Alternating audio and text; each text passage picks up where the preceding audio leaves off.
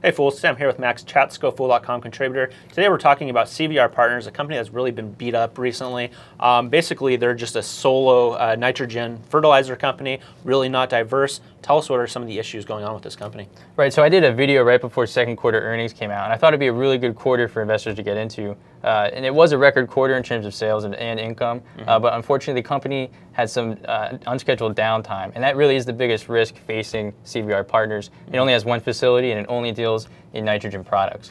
Yeah, definitely. I mean, if you have one facility and it and you have some downtime, obviously you're out of business uh, for the, right. the, time being. So obviously that is worrisome. Um, nitrogen fertilizer companies overall have been doing pretty well over the last year and a half. A lot of demand still there. So what are some of the other investments that you can look at, bigger companies or more diverse companies? Who do you like in there, that area?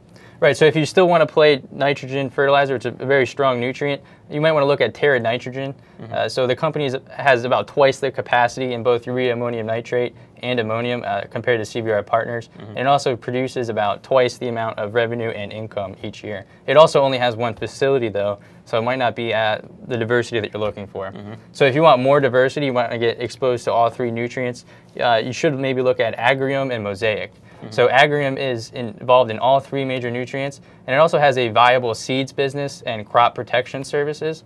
Um, so that could be a good investment there. Mm-hmm. And then with Mosaic, uh, it's one of the largest phosphate producers in the in the world.